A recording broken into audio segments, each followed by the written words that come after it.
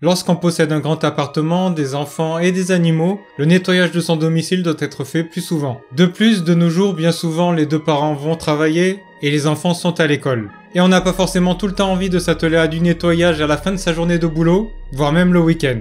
Partant de ce constat, des sociétés ont commencé à mettre sur le marché des aspirateurs robots permettant de nous assister dans nos tâches de nettoyage et même d'en faire certaines pendant notre absence. Salut tout le monde, c'est Joe, j'espère que vous allez bien. Aujourd'hui, je vais vous dire ce que j'ai pensé du Yeti Vac Max. C'est un aspirateur robot trouvable à moins de 300 euros, mais aussi de la Self Empty Station, une station permettant de vider automatiquement les saletés contenues dans l'aspirateur. Et si ça vous intéresse, restez connectés.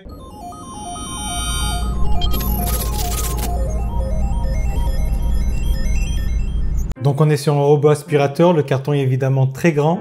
Donc à l'intérieur on va retrouver... Donc on a les livrets, les instructions de sécurité, la déclaration de conformité, le guide de démarrage rapide, important, et le manuel d'instruction de ce Yeti VacMax. On a la prise électrique pour brancher le socle au courant, pour que l'aspirateur puisse être rechargé. On a le socle sur lequel l'aspirateur va venir se ranger. Une fois qu'il aura fini son nettoyage, pour être rechargé. Alors on a la petite brosse à trois branches, ça va se caler sous l'aspirateur et ça va tourner pour faire venir les poussières quand l'aspirateur va avancer. On a cinq lavettes, donc les lavettes là les accessoires ça va être pour le lavage, donc on en a 5 de rechange. Ça va se caler sous le robot. Donc voici l'aspirateur. Ici on a le logo, la marque. Donc le design n'a rien d'original, hein. on est sur un aspirateur robot, rond. Ici on a un bouton Power, Auto Mode. Ici on a un capteur de cartographie, donc ça va aider le robot à se repérer dans l'espace, à cartographier son environnement. Si on ouvre la trappe, on a ici un bouton Power, un bouton Reset ici, et l'indicateur de Wi-Fi là. On a un petit outil de nettoyage. Donc ça permet de nettoyer des pièces du robot ou ce qu'on veut. Donc ici, là, c'est le bac qui va récupérer les poils, les poussières, etc. Ça s'ouvre comme ça. C'est simple. Comme ça, on peut aller vider tout ce que l'aspirateur a récolté. Ça s'ouvre avec le petit bouton rouge sur le côté. On referme. On a un filtre dessus. On peut le nettoyer. Donc il y a une fréquence de nettoyage du filtre. Et ensuite, ça se remet aussi facilement que quand on l'a enlevé. Au dos. Donc c'est intéressant. Déjà, on a les deux roues. Donc on voit, elles peuvent rentrer à l'intérieur. Ça permet d'absorber les chocs et de passer plus facilement n'importe où. Donc ces deux petits emplacements là, ça va être pour mettre la sorte de serpillière. Comme ça. D'ailleurs, cette partie s'enlève car c'est le réservoir. Tout autour, on a des capteurs anti-chute. Ça va permettre au robot de s'arrêter et de faire demi-tour. Ici, on a un capteur de détection de tapis. Ici, ces deux contacteurs, ça va permettre à l'aspirateur de se recharger quand il va retourner sur son socle. Donc en fait, ça va être comme ça, dans l'autre sens. Donc en vrai, on a pas mal de capteurs sur ce robot. Donc la brosse de tout à l'heure, elle va se mettre là, et ça va tourner. Ici, on a une autre petite roue. Ici, on a la brosse principale. C'est par là que ça va aspirer, ça tourne. Pour le nettoyer, ça s'enlève comme ça. On pince et on retire. Donc on a le cache, la brosse. Si vous avez déjà utilisé un robot aspirateur, vous comprendrez assez vite comment ça fonctionne, vu que ça fonctionne à peu près de la même manière sur chacun. Ici à l'avant, on a un capteur bumper anti-collision. Donc quand le robot il avance, s'il arrive sur un meuble, ça va cogner là-dessus. Donc le socle de charge, quand le robot va avoir fini son nettoyage, il va revenir à sa base. On a bien les deux petits connecteurs.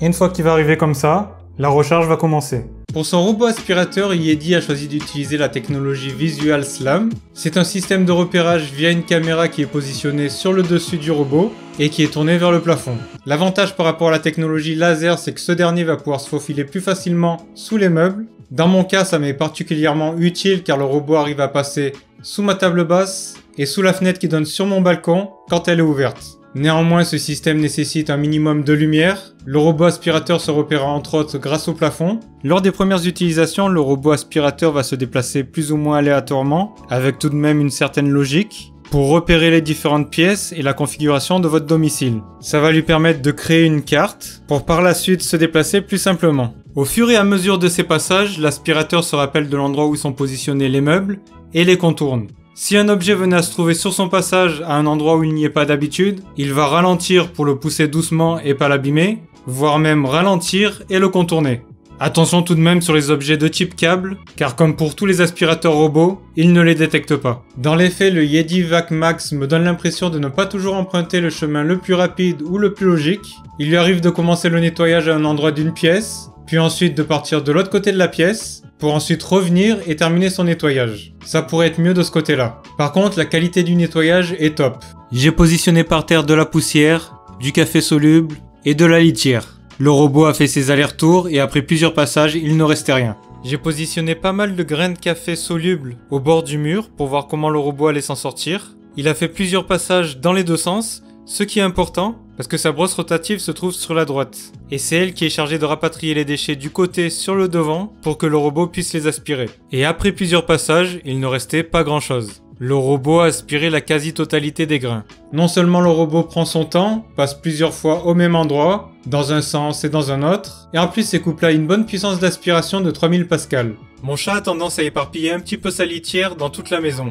Du coup j'ai fait un petit test, j'ai pris 20 grammes de litière, que j'ai positionné sur un petit morceau de tapis, donc ça fait beaucoup de litière au même endroit, mais je voulais faire un petit test compliqué pour l'aspirateur. Il a fait ses allers-retours habituels, il a enlevé le plus gros de la litière, mais comme on peut voir, il restait quand même des grains accrochés au tapis, qui est en plus un tapis un peu compliqué à aspirer, étant donné qu'il n'a pas les poils ras.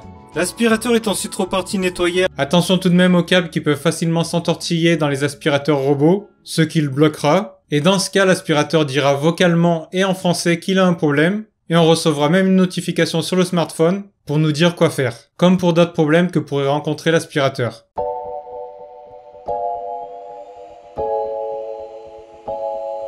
Concernant le mode nettoyage à l'eau, dans un premier temps, il va falloir déclipser le réservoir sous le robot. Il va falloir remplir le réservoir avec de l'eau claire, bien évidemment. Il ne faut pas mettre de produits ménagers dedans. Ensuite, on peut le reclipser sous le robot. Il va falloir mouiller un petit peu la serpillière et à l'accrocher à la petite planche en plastique. Pour bien la faire tenir, on a une languette et on a des scratchs sur le dessous. Ensuite, on va prendre la serpillière accrochée à la petite planche et on va venir la clipser sous le robot au niveau du réservoir. Il n'y a pas besoin de trop forcer, ça s'accroche tout de suite. Si vous allez renverser un petit peu de liquide, genre un fond de verre, le robot va passer dessus, va faire des allers-retours, et la tâche va disparaître. Maintenant, si vous allez renverser beaucoup de liquide, le robot va avoir beaucoup plus de mal, il va quand même faire des allers-retours, mais il pourra rester des traces. On peut ajuster la puissance du débit d'eau selon quatre modes différents. Vous voyez vous-même à l'écran que la serpillière a un petit peu changé de couleur, preuve qu'elle a quand même une utilité. Pour le lavage au sol avec la serpillière, ça fera bien affaire si on renverse un petit peu de liquide. Mais ne comptez pas venir à bout de tâches incrustées, ce n'est pas un robot laveur, mais plutôt un robot aspirateur qui peut dépanner pour laver le sol. C'est léger, d'autant plus qu'on ne peut pas mettre de produits de nettoyage dans le réservoir. Une fonctionnalité que j'apprécie particulièrement avec cet aspirateur robot Yeti Vac Max, c'est le fait qu'il est capable de détecter les tapis et les moquettes pour adapter son nettoyage. On peut lancer un cycle de nettoyage en mode standard, qui soit dit en passant est très silencieux, pas de problème pour regarder la télé en même temps, et c'est suffisant pour du carrelage. Et dès que le robot va détecter un tapis ou de la moquette, il va augmenter de lui-même sa puissance d'aspiration. Donc pas besoin de modifier les réglages selon ce que l'on fait, selon ce que l'on veut nettoyer. On lance le nettoyage en standard et le robot adapte de lui-même. De plus, étant donné qu'il est capable de détecter les revêtements du sol, lorsque l'on va être en mode nettoyage à l'eau, avec la serpillière, s'il détecte un tapis ou de la moquette, il va faire demi-tour. Ses roues avant vont monter sur le tapis ou vont s'avancer sur la moquette. Ses capteurs vont détecter le revêtement du sol et il va partir dans une autre direction, dans le but de ne pas tremper le tapis ni la moquette. C'est efficace et ça fonctionne à chaque fois. Il n'y a eu aucun raté dans mon cas. Hey Google, passe l'aspirateur. Très bien, j'active IDVAC Max. Hey Google, arrête l'aspirateur Yeti Vac Max. Ok, j'arrête IDVAC Max. Quelques pop-up vont s'afficher de temps en temps dans l'application pour nous donner des recommandations, des conseils, des conseils que l'on peut afficher pour ensuite les appliquer. Comme pour la plupart des robots aspirateurs, on va pouvoir voir le robot se déplacer sur la carte pendant qu'il effectue son nettoyage. Donc il va passer de pièce en pièce. Donc en bleu, c'est les parties où il est déjà passé. Et les autres parties plus claires, là où il n'est pas encore passé. Donc là, je lui ai demandé de nettoyer juste une certaine zone. Donc je lui ai pas dit de tout faire. Donc ça permet de savoir où en est l'aspirateur, combien de mètres carrés il a déjà nettoyé, depuis combien de temps. Donc ça permet de se faire une idée de combien de temps il va mettre. L'aspirateur cartographie et délimite les différentes pièces. On peut ensuite les renommer salon, cuisine, chambre, etc.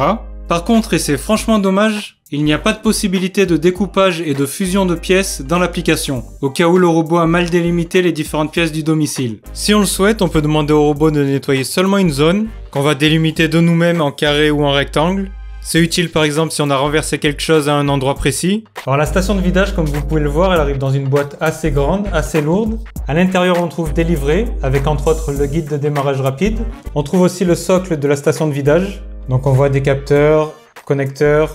Donc on trouve des accessoires, un sac pour les poussières, le câble d'alimentation secteur, un tournevis avec trois vis, et nous avons aussi bien évidemment le plus gros de la station de vidage. Nous avons ici l'émetteur infrarouge, nous avons ici, ça se voit peut-être pas trop, un indicateur LED. Et ici sur le dessus, un bouton. On pousse, ça s'ouvre. À l'intérieur, on a un sac collecteur qui est déjà préinstallé. Et nous avons aussi une rampe. La rampe, elle se positionne sous le socle. Après, ça se positionne à plat. Et enfin, la partie la plus grosse, la plus haute, la plus lourde vient s'insérer comme ça et se positionner là. Donc, l'aspirateur robot va avoir la rampe pour monter ici. Le câble d'alimentation se branche au dos. Et donc là, on a une station de vidage pour collecter la poussière qui va permettre de ne pas avoir à vider l'aspirateur robot manuellement de nous-mêmes. Avec la station d'autovidage, lorsque le robot a fini son cycle, il est guidé par infrarouge jusqu'à la station. De temps en temps, il peut un petit peu galérer et s'y reprendre à plusieurs fois. Une fois arrivé sur la station, il y a un bruit assez fort de 15 secondes qui va se faire entendre. C'est la station qui va aspirer les poussières qui sont dans le bac du robot et après le bac sera vide. De temps en temps, lorsque le robot a collecté beaucoup de poussière, il peut y avoir des saletés qui se bloquent un peu dans le bac et qui ne sont pas aspirées par la station. Dans ce cas, vous pouvez attendre la prochaine fois un nouveau cycle du robot et de la station, ou sinon vider ça manuellement. Sachant que le bac du robot n'est pas spécialement gros, mais dans mon appartement, il peut encaisser plus d'un nettoyage complet.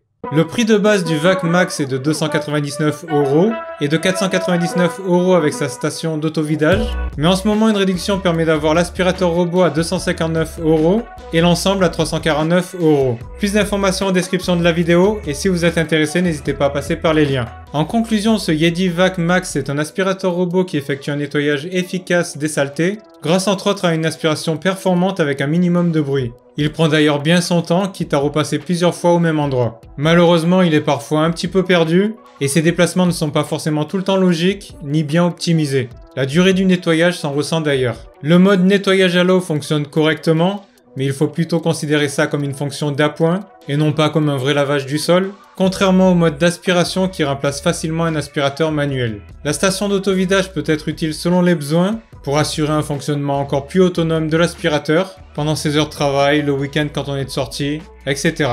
Mais elle n'est en aucun cas indispensable. On peut s'en passer sans problème et vider régulièrement le bac de l'aspirateur manuellement, d'autant plus qu'il faut dire qu'elle est assez onéreuse. N'hésitez pas à me dire dans les commentaires ce que vous en pensez, si pour vous un aspirateur robot ça vous semble utile ou pas, voire même si ça vous semble être un produit de feignant, pourquoi pas. C'était Joe pour Culture Chronique, ciao ciao